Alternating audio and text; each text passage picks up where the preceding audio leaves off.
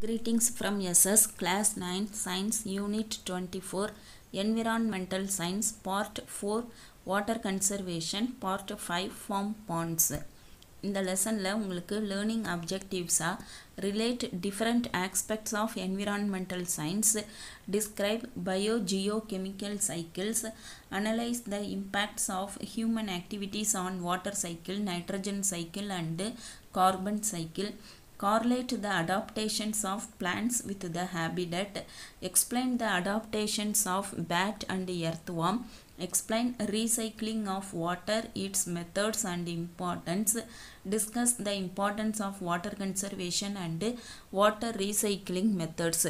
இதெல்லாம் உங்களுக்கு லேர்னிங் அப்ஜெக்டிவ்ஸாக கொடுத்துருக்காங்க கான்செப்ட் மேப் இதில் நம்ம வாட்டர் கன்சர்வேஷன் அப்படிங்கிறத பார்க்க போகிறோம் வாட்டர் கன்சர்வேஷனோட இம்பார்ட்டன்ஸ் அதோட எப்படிலாம் அதை சேர்த்து வைக்கலாம் அதோட ஸ்ட்ராட்டஜி என்ன? அடுத்தது ஃபார்ம் பாண்டுனா அதோட டிஸ்கிரிப்ஷன் அதோட அட்வான்டேஜஸ் அதோட லிமிட்டேஷன்ஸ் அதை தான் இந்த பார்ட்டில் நம்ம பார்க்க போகிறோம் வாட்டர் கன்சர்வேஷன் இப்போ இந்த வேர்ல்டில் பார்த்திங்கன்னு சொன்னால் த்ரீ பர்சன்ட் தான் வந்து நம்ம நல்ல தண்ணீரை நமக்கு கிடைக்கும். அதுலேயும் ஒன் பர்சன்ட் அப்படிங்கிறது தான் குடிக்கிறதுக்கே தண்ணி இருக்குது அப்படின்னு சொல்கிறாங்க ஆனால் பாப்புலேஷன் வந்து இன்க்ரீஸ் ஆகிட்டே போகுது. அப்போ வாட்டரை வந்து சேர்த்து வைக்கிறதுங்கிறது ரொம்ப முக்கியமானதுன்னு சொல்கிறாங்க அதனால தான் திருக்குறளில் திருவள்ளுவர் சொல்லுவார் நீரின்றி அமையாது உலகு யார் யாருக்கும் வானின்றி அமையாது ஒழுக்கு அப்படின்னு சொல்கிறோம் அப்போ மழை பெஞ்சால் மட்டும்தான் இந்த பூமியில் தண்ணி கிடைக்கிது. அப்போ அந்த தண்ணி இல்லைன்னு சொன்னால் மக்கள்கிட்ட ஒழுக்கமே இல்லாமல் போயிடுங்கிறாங்க அப்போ அந்த தண்ணீரை நம்ம எப்படி சேர்த்து வைக்கிறோங்கிறதான் இந்த பாட்டில் பார்க்க போகிறோம் அப்போ வாட்டர் கன்சர்வேஷன் அப்படின்னு சொன்னால் அதில் ப்ரிசர்வேஷனும் அடங்கும் கண்ட்ரோல் அண்டு மேனேஜ்மெண்ட்டும் வந்துடும்னு சொல்கிறாங்க இப்போ அந்த தண்ணியை சேர்த்து வைக்கணும் அதை கண்ட்ரோல் பண்ண தெரியணும் அதை கரெக்டாக மேலாண்மை பண்ணி கொண்டு வர தெரியணும். It also includes activity to protect the hydrosphere and to meet the current and future human demand அந்த ஹைட்ரோஸ்பியர் நம்ம ஸ்பியர்லேயே ஃபோர் ஸ்பியர் படித்தோம் அதாவது லேண்டு சம்மந்தப்பட்டதை லித்தோஸ்பியர்னும் ஸ்கை சம்மந்தப்பட்டதை அட்மாஸ்பியர்னும் வாட்டருக்கு உள்ளதை ஹைட்ரோஸ்பியர்னு பார்த்தோம். இந்த மூணையும் சம்மந்தப்பட்டு உயிர் வாழக்கூடிய உயிரினங்களை பயோஸ்பியர்னு சொன்னோம். அப்போ நம்ம வாட்டர் கன்சர்வேஷன் ஆக்டிவிட்டி வந்து ஹைட்ரோஸ்பியரில் வந்து பாதுகாக்கிறதையும் அதில் அடங்கிடுது.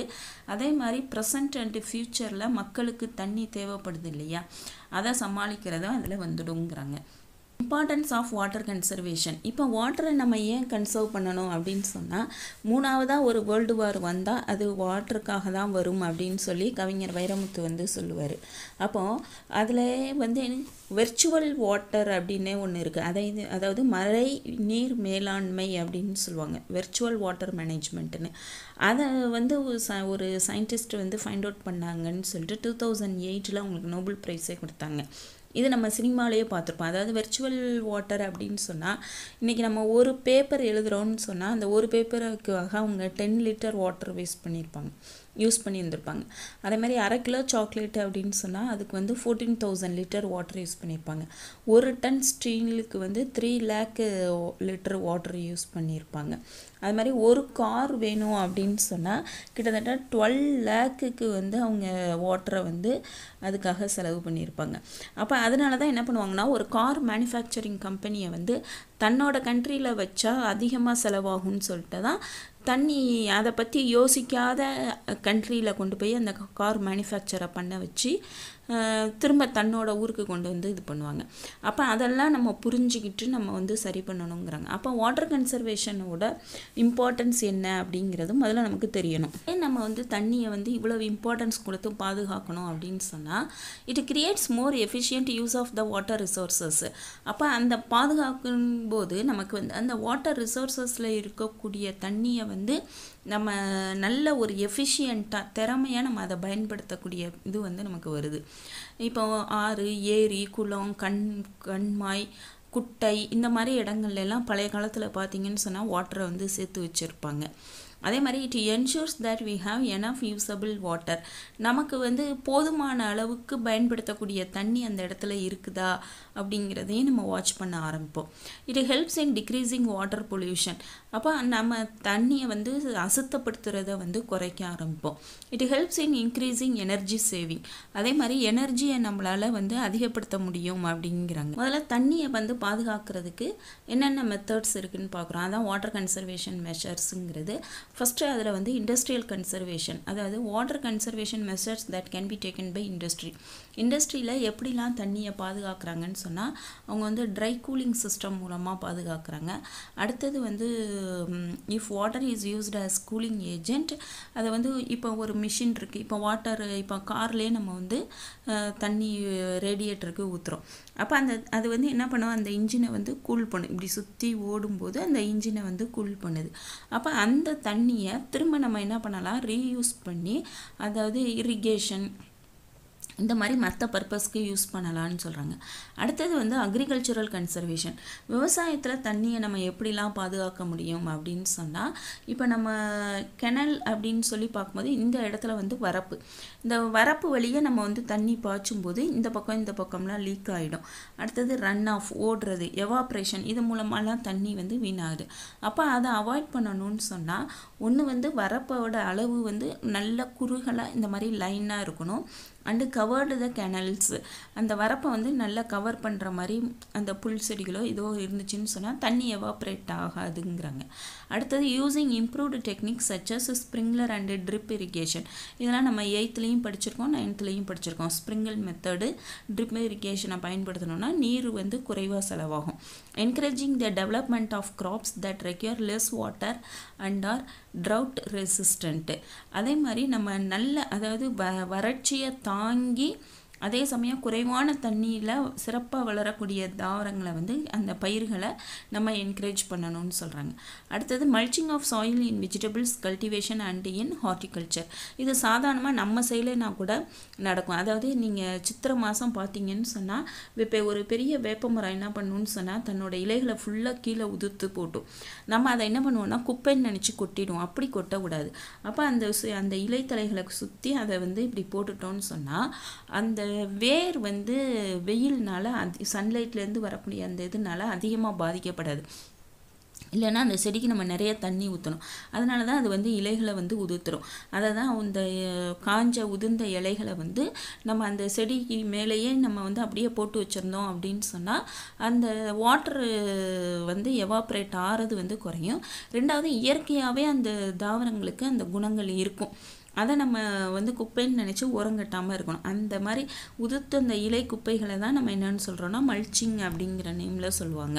அடுத்தது வந்து வேர்ல்டு வாட்டர் டே வந்து நம்ம மார்ச் டுவெண்ட்டி செகண்டில் எவ்ரி இயர் அதை அப்சர்வ் பண்ணுறோம் ஏன் அப்படின்னு சொன்னால் அப்போ தான் நமக்கு வந்து இம்பார்ட்டன்ஸ் ஆஃப் வாட்டர் நமக்கு தெரியும். சில பேர் பார்த்திங்கன்னா அதிகமாக தண்ணி செலவு பண்ணுவாங்க. சில பேர் வந்து குறைவாக செலவு பண்ணுவாங்க. அப்போ நம்ம வந்து தண்ணினா என்ன? அதுக்கு எவ்வளோ இம்பார்ட்டன்ஸ் கொடுக்கணுங்கிறதெல்லாம் ஏன்னா இந்த பூமியில் வந்து வாட்டர் அப்படிங்கிறது அண்டர் கிரவுண்டுலேயும் கிடைக்கும் சர்ஃபேஸ்லேயும் கிடைக்கும். ஸ்கையில் பார்த்தீங்கன்னா வேப்பராகவும் இருக்கும். அப்போ மூணு இடத்துலையுமே வந்து வாட்டர் வந்து இருக்குது. அப்போ அதோட இம்பார்ட்டன்ஸ் வந்து நமக்கு கண்டிப்பாக தெரிஞ்சிருக்கணும்.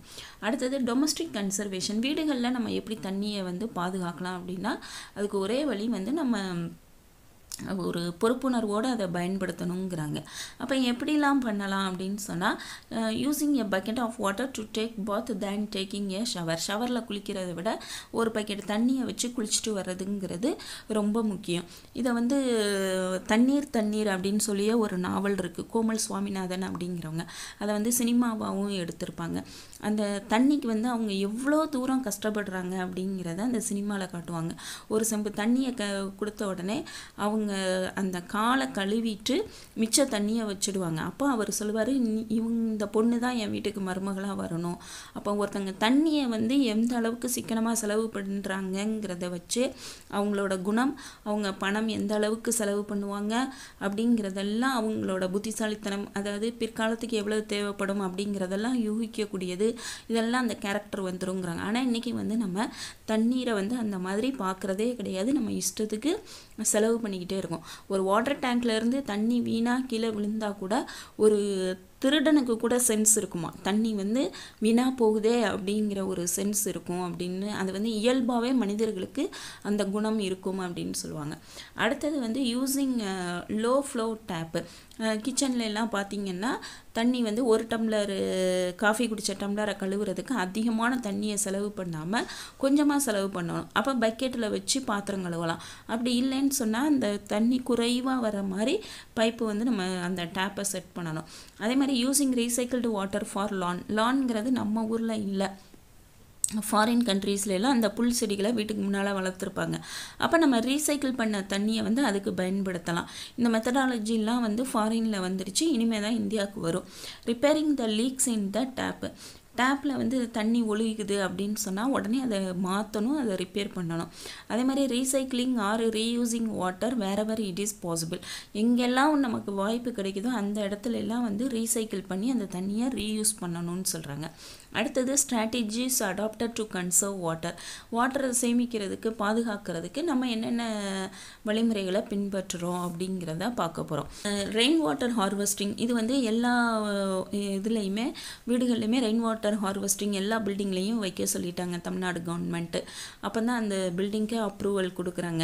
அப்போ நில அந்த கிரவுண்ட் வாட்டர் வந்து இன்க்ரீஸ் ஆகும். இம்ப்ரூவ்டு இரிகேஷன் டெக்னிக்கு நல்ல ஒரு இருங்க அதான் நம்ம இப்போ பார்த்தோம் இல்லையா ஸ்ப்ரிங்லர் மெத்தடு இதெல்லாம் அதை மாதிரி இதை நம்ம யூஸ் பண்ணணும். Active use of traditional water harvesting structures அதாவது ட்ரெடிஷ்னலாக இப்போ பார்த்தீங்கன்னா தண்ணீரை வந்து நம்ம வாழ்க்கையோட ரொம்ப தொடர்பு படுத்தி சொல்லுவாங்க.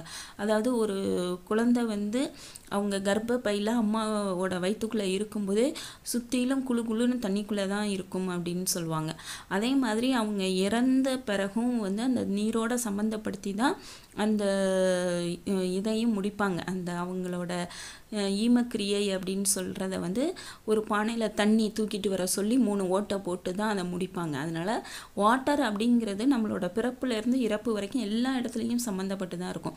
அதனால தான் ட்ரெடிஷ்னல் வாட்டர் ஹார்வெஸ்டிங்கிற மெத்தடு வந்து சொல்லியிருப்பாங்க. பழைய காலத்துல எல்லாம் பார்த்தீங்கன்னா கோயில்கள் எல்லாம் வந்து தெப்பம் தெப்பக்குளம் இதெல்லாம் கட்டி அதுக்கெல்லாம் விழா எடுப்பாங்க. கடைசி திருவிழா வந்து அதோட ரிலேட்டடாக தான் இருக்கும். அப்போ அதை வந்து நம்ம திரும்ப கொண்டு வரணும்.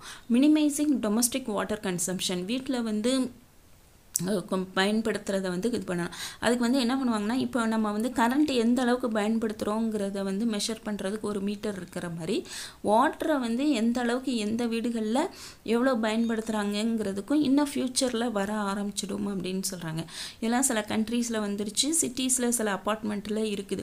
அவங்க எந்த அளவுக்கு வாட்டரை யூஸ் பண்ணுறாங்களோ அதுக்கு தகுந்த மாதிரி பணம் வசூல் பண்ணுவாங்க. அது மாதிரி வரணும். அவேர்னஸ் ஆன் வாட்டர் கன்சர்வேஷன் ஏன் நம்ம வந்து தண்ணீரை இவ்வளவு பாதுகாப்பு பாதுகாப்பாக வைக்கணுங்கிற அவேர்னஸை வந்து நம்ம கொண்டு வரணும். கன்ஸ்ட்ரக்ஷன் ஆஃப் ஃபார்ம் பாண்டு இதான் அடுத்து நம்ம பார்க்க போகிறோம் அதாவது பண்ணை குட்டைகள் அப்படின்னு சொல்கிறது அதே மாதிரி ரீசைக்ளிங் ஆஃப் வாட்டர் தண்ணியை வந்து எப்படி திருப்பி ரீசைக்கிள் பண்ணி பயன்படுத்துறது அப்படிங்கிறது. இப்போ அடுத்து வந்து நம்ம ஃபார்ம் பாண்டுனா என்னென்னு பார்க்க போகிறோம் அதாவது பண்ணை குட்டை அப்படின்னு சொன்னால் என்னென்னு. இது வந்து வாட்டர் கன்சர்வேஷனுக்கு ஒரு நல்ல சப்போர்ட் பண்ணக்கூடிய ஒரு ஸ்ட்ராட்டஜி அப்படின்னு சொல்கிறாங்க இப்போ நிறைய வாட்டர் பார்த்தீங்கன்னு சொன்னால் மழை பெய்யும் போது தண்ணி வந்து ஓடி போயிடுது. இப்போ இப்போ நம்ம தமிழ்நாடை பொறுத்த வரைக்கும் பார்த்தீங்கன்னு சொன்னால் சரியான அளவில் சரியான டைமில் மழை பெய்யும். இப்போ இஸ்ரேல்லாம் எடுத்துக்கிட்டிங்கன்னு சொன்னால் அதெல்லாம் வந்து டெசர்ட் பிளேஸு அன் மழை வந்து மிக குறைவாக தான் பெய்யும். ஆனால் அங்கே பார்த்திங்கன்னா விவசாயம் செழிப்பாக இருக்குது ஆனால் இங்கே வந்து நம்ம என்ன பண்ணுறோன்னா தண்ணி ஃபுல்லாக வந்து கடலுக்கு போயிடுறதுனால கோடையில் வந்து தண்ணி இல்லை தண்ணி இல்லைன்னு நம்ம சொல்கிறோம் அப்போ இந்த run off not only causes loss of water அப்போ க தண்ணி வந்து கடலுக்கு போயிடுதுங்கிறது மட்டும் மட்டும் காரணம் இல்லை. But also washes away the precious top soil அது வந்து மண்ணின் மேல் மண் இருக்கு இல்லையா? அதையும் அடித்து கொண்டு போய் கடலில் விட்டுருது அப்படிங்கிறாங்க. Farm ponds helps the farmer to store water to use it for irrigation அந்த பண்ணைகளில் குட்டை அமைக்கிறது ஃபார்மர்ஸ்க்கு வந்து தண்ணியை சேர்த்து வைக்கிறது மட்டும் இல்லாமல் அவங்களோட இரிகேஷன் பாசன வசதிக்கும் அது ஹெல்ப் பண்ணுது அப்படின்னு சொல்கிறாங்க ஒரு ஃபார்ம் பாண்டுங்கிறது இப்படி தான் இருக்கும் அப்படின்னு சொல்கிறாங்க lay out of a farm pond lay out அப்படின்னு சொன்னால் அதோட அமைப்பு வந்து எப்படி இருக்குது அப்படிங்கிறத பார்க்குறோம் compound is a dug out structure with definite shape and size அது வந்து கவர்மெண்ட்டில் கொடுத்துருப்பாங்க. இவ்வளோ இடம் இருந்துச்சுன்னு சொன்னால் இவ்வளோ இதுதான் நீங்கள் கட் வெட்டணும் அப்படின்னு சொல்லி குழி வெட்டணும்னு சொல்லியிருப்பாங்க. அதில் வந்து நம்ம குழி வெட்டணும். They have proper inlet and outlet structure of collecting the surface run off flowing from the farm area அந்த பண்ணையிலேருந்து தண்ணி வந்து உள்ளே வர்றதுக்கும் வெளியே போகிறதுக்குமான ஸ்ட்ர ப்ராப்பரான அந்த அமைப்போடு இருக்கும். இருக்கணுங்கிறாங்க the stored water is used for irrigation இப்போ நம்ம ஒரு தென்னந்தோப்பு வச்சுருக்கோம் ஒரு மாந்தோப்பு வச்சுருக்கோம்னு சொன்னால் தோப்புக்கு நடுவுலையோ ஒரு கார்னர்லேயோ இந்த மாதிரி நம்ம குட்டைகளை வெட்டுறோம் அப்படின்னு சொன்னால் அப்போ சப்போஸ் அந்த வாய்க்கால் வழியாக வரக்கூடிய தண்ணீரும் அதுக்குள்ளே விட்டுக்கலாம். அதிலேருந்து வரக்கூடிய தண்ணீரை வந்து இப்போ இதான் வந்து ஒரு வாய்க்கால் அப்படின்னு சொன்னால் நம்ம தோப்பு இங்கே இருக்குன்னா இந்த இடத்துல குட்டை வச்சோம்னா இதிலேருந்து நம்ம வந்து இங்கே தண்ணி அதிகப்படியான தண்ணி இங்கே போகும்போது இங்கே நம்ம பிடிச்சி வச்சுக்கலாம். இதில் இருந்து கட் பண்ணி நம்ம வந்து தோப்புக்கு அனுப்பிக்கலாம். அப்போ வந்து அந்த இன்லெட்டும் அவுட்லெட்டும் கரெக்டாக இருக்கணும் அப்படின்னு சொல்கிறாங்க இதை மாதிரி இந்த பாசன வசதியாகவும் நம்ம பயன்படுத்திக்கலாம்.